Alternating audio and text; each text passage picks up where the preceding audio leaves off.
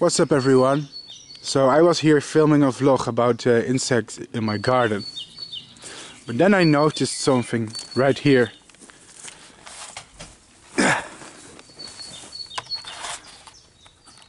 in between the leaves.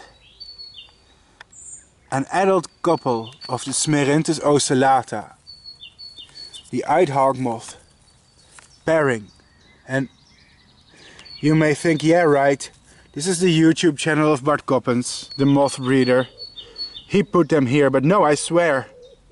While I often film captive insects, I swear that this couple right here is 100% wild and not an arranged encounter, so to speak.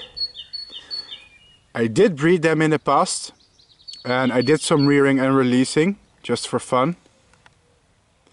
So it could be that indirectly they are my offspring, but I didn't put them here for the video.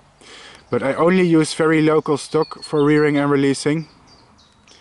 Uh, so uh, the ones that I already collected, because they're very common in my area. I know where to find caterpillars on some good days. So only use locally collected insects if you ever want to release them. Only use local insects. I cannot say this enough. But I'm still happy to find these. Means the population in my village is doing well. Oops. Yeah, they're pretty undisturbed. Don't worry about that. Could be nice for my breeding program. So today I, uh, I've broken them up, but don't worry, the female is 100% fertile.